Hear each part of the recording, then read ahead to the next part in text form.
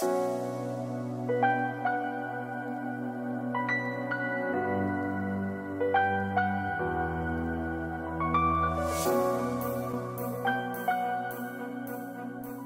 friends, has sensitive skin but an even more sensitive ego here, bringing you another Dota 2 video on behalf of Dota Alchemy, where I'm going to be breaking down what I think the hero tier list is for uh, offlaners. The, the power tier list, I should say, because they're not just organized randomly. These are the heroes that I think are broken and are going to win you some MMR. So take this with a grain of salt. The patch was just released, and this is just my opinion. So I very well could be wrong, and I definitely am wrong. A lot of things need to develop. We need to see tournaments, we need to see pubs, but this is what I have so far. First recommendation is even if you think that this video is stupid and you want to click away from it, uh, I would highly recommend to uh, set up your hero pick screen to be something other than the defaults. I feel like my win rate has gone up by like 2% over a large sample size of games after switching it to this. Uh, not necessarily because having hero tiers is a good concept. I think it is. Maybe you don't. But having a structure to follow for picking means that I don't pick dumb shit anymore. And I would highly recommend for you to not pick dumb shit anymore by virtue of uh, setting this up. But in any case, so we have the S tier category of hero, and that is Sand King, and Sand King alone. Uh, possibly other few heroes fall into this category. I'm just not 100% sure yet, but I know Sand King is S tier. And the reasoning behind this is he was already A or S tier in the previous patch, and the heroes that were above him, such as Enchantress, these heroes got nerfed. So they've fallen down the list. Sand King rises up. And then with that being said, Sand King has always been an incredibly good hero, basically because Sandstorm is an incredibly good ability, and where people would punish Sand King is not once he has levels. Everybody knows that he's good when he has levels. It's when he was level 1 to 3. You try to get the hero to feed, and then he'd fall off and be bad.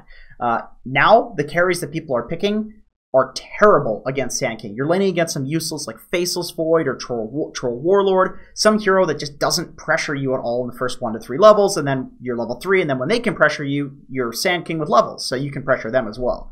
So that's that's kind of why this hero is amazing right now. The meta has swung where it feels very good. Universe is spamming this hero. I would highly recommend checking out his games if you're interested in learning. Actually, I'm releasing a Sand King guide in a couple of days now, so check that out as well. Uh, a tier, we have Axe, Abaddon, Nightstalker, and Pudge. With Axe, basically, I thought he was S tier in the previous patch, but now with the double stout shield nerf and people getting better at dealing with the creep cutting shenanigans, he's fallen to A tier, but he's still an amazing hero.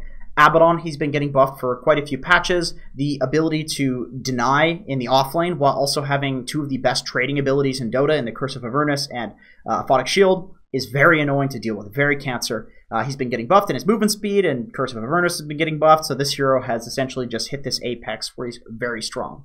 Nightstalker, with the Aghanim's change and then allowing Void to uh, work in the daytime where it doesn't do half damage. This hero got this ability to farm. Uh, he got this ability to uh, contribute in team fights. And then on top of that, people have gotten a lot better at playing around the crippling fear ability, building blink dagger, jumping on backlines.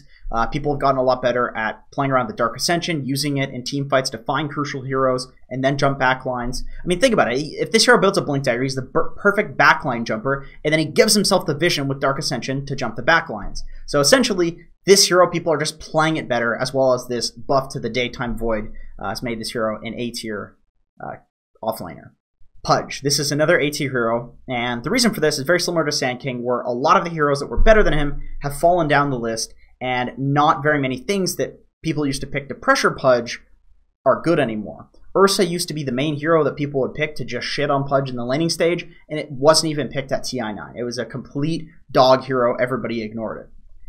B tier. So in the B tier, we have heroes that are incredibly strong, but only if you get them in games where you're countering something or you have something on your team. And we'll start with the easy one, the easy ones first. So Batrider, uh, this hero is amazing against Monkey King, Sven, Terrorblade, any of these heroes that you can just shit on with your Q and your E in the laning phase.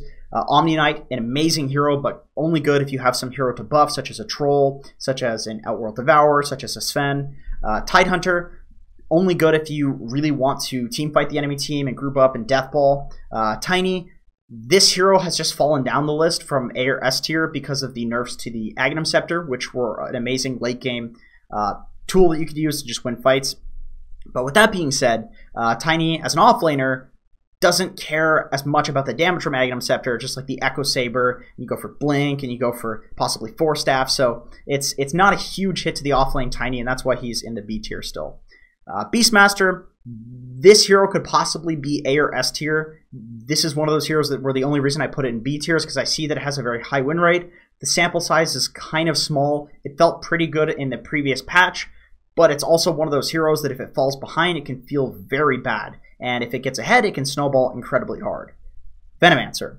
This hero is incredibly good as well, does a shitload of damage, outlanes a lot of things that you would think that maybe it wouldn't, like such as a life stealer. You can pick it uh, against any of these kind of melee carries and just absolutely dump on them, but you need to be careful about not getting tri-laned and not playing against lanes that will just kill you. He is a damage over time trading hero, so if you pick it in a scenario where that's not what you're doing, it could feel really bad. Puck. Puck hasn't been getting buffed for a while.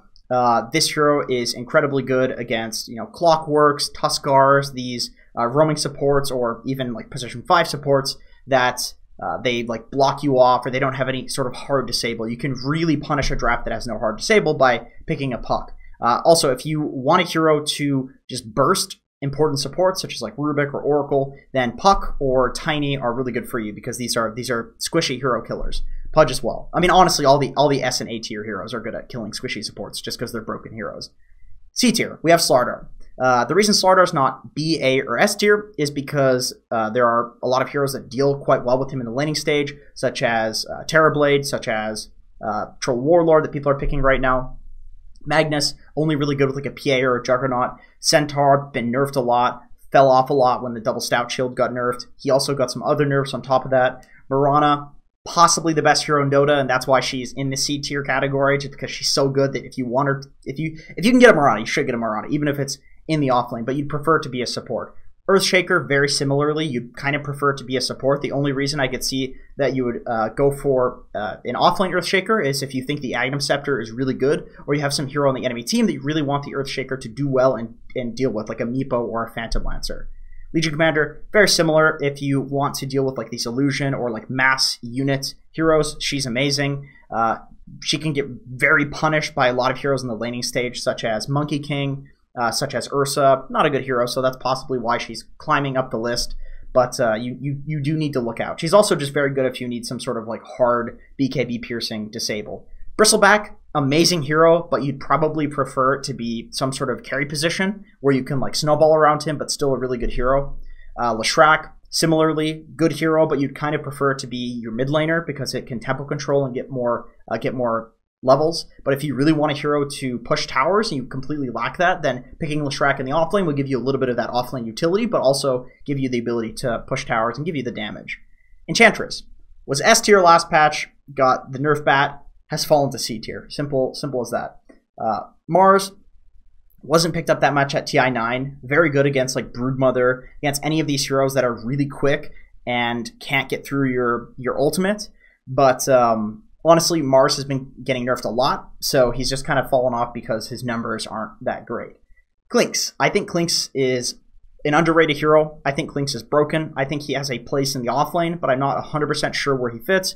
If you're feeling spicy, then I would definitely recommend trying it out. Enigma, Darkseer, Nature's Prophet, the rest of these heroes are essentially, I don't think that they're completely unpickable, uh, but I think that you would probably prefer to get one of these other heroes first. If, if you can find some sort of scenario where you want to pick one of these heroes, it's quite possible you could just get a better hero that does relatively the same thing. So, for, with that being said, there are very few scenarios. Like, let's say you have a Spirit Breaker on your team and you know the guy's a really good Spirit Breaker player. Maybe you want to pick Darkseer to empower them. But with that being said, if you want some hero that like does really well in the laning stage, that's like a team fighter, you know, maybe you want Tidehunter. So that's it for this video. Thank you for watching. I do appreciate it. I know this one was kind of uh, long and ranty and just staring at the hero pick screen, but uh, quite a few people were asking for this, so I figured that I would make it and you know just just see how it goes. If you have any ideas for like you know relatively simple improvements on something like this, then uh,